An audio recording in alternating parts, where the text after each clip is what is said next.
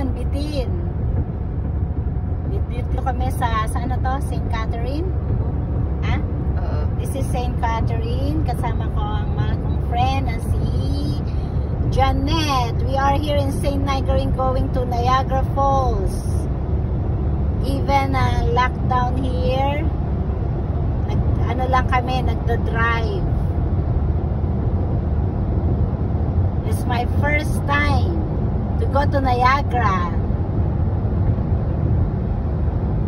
Yan po, itong lugar ng Niagara, Canada. Ano ba yung Niagara? Yung most, ano siya, di ba? In the world. Oo. Mamaya ipapakita ko sa inyo kung gaano kaganda ng falls.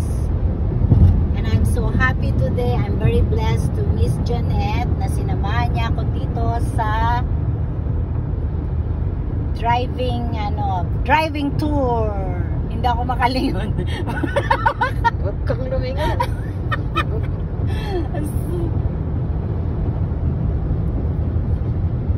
Yan. I'm so happy. This is my good memory. It's May 19 today. May 19, 20. Yeah. Oh no, it's May 19, eh, 20, 2021. My first driving going to Niagara Falls.